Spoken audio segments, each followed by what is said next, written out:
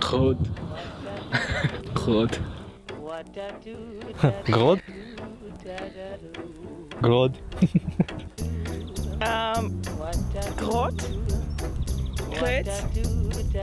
Krøt. What I do, what I do, da da do, da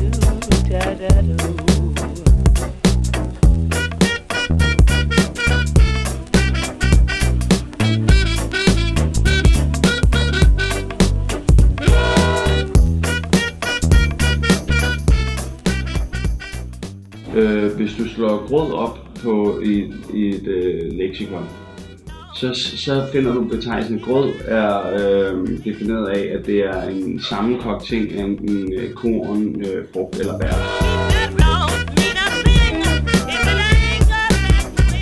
Grunden til at jeg åbnede var fordi, at jeg elsker grød.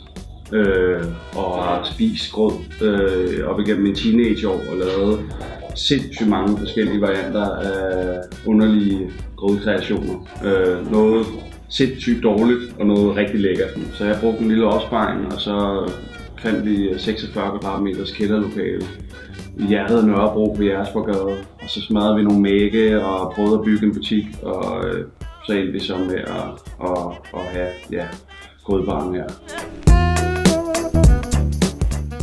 Da jeg så fortalte til mine venner og familie, at nu skulle jeg altså til at åbne verdens første grødbar, det var ikke en joke, øh, så tænkte de, du, du er sindssyg. Altså, du er fuldstændig åndssvagt oven i hovedet. Det var meget angstprovokerende at starte noget så underligt som grød.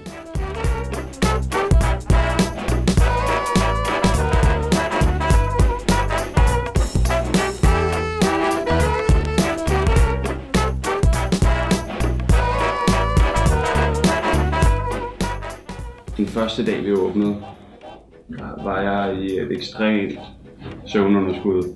Jeg var helt fuldstændig smadret.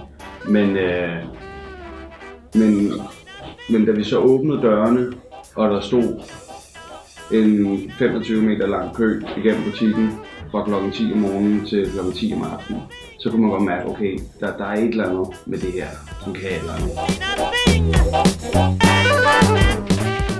Det er kundens øh, positive feedback, der er det aller, aller fedeste.